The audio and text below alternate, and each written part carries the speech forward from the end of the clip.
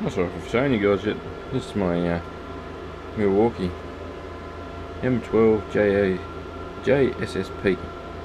It's a uh, 12 volt Milwaukee radio. Uh, um, well, not radio, Bluetooth speaker. Sorry. Um, it's got USB charge. It's got auxiliary in if you don't have a Bluetooth enabled device like an iPod or something. MP3 playing machine. Uh, very simple, very basic.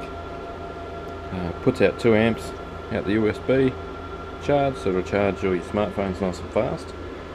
Um, very simple to pair with. It takes both the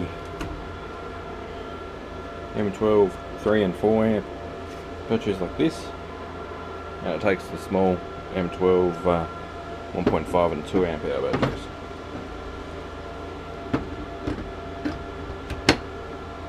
I like it with this one because it'll sit on the battery but with the uh, 1.5 it's even between there and the bottom of the battery as well. So it's nice and stable either way. Nice and stable in all directions. A rubber overmold mold all the way around here. Well you get a uh, red light when you turn it on. Uh, it stays solid when it connects to uh, connects to your Bluetooth source in this case Samsung S6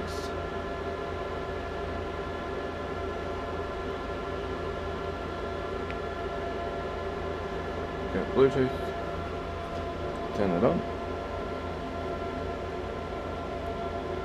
Opens up my uh, Bluetooth menu. I've got M12 speaker and I've got my Milwaukee click connecting. Connected to media device for audio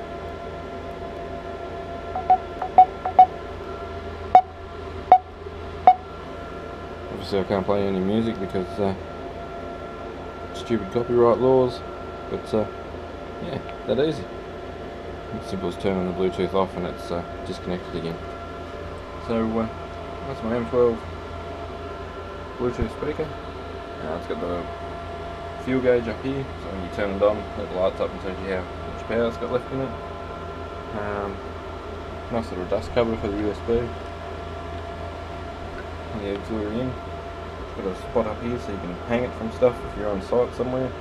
The rubber overmold's great, that actually fits nice between a car window and a dashboard if it's up on the dash. Yeah.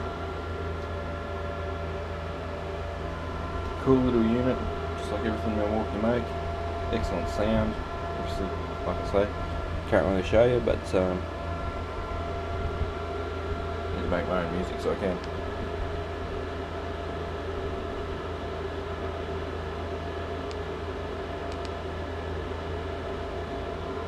Power button, volume buttons, very simple, quite cool.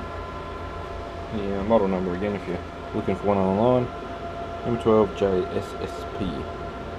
Thanks for watching.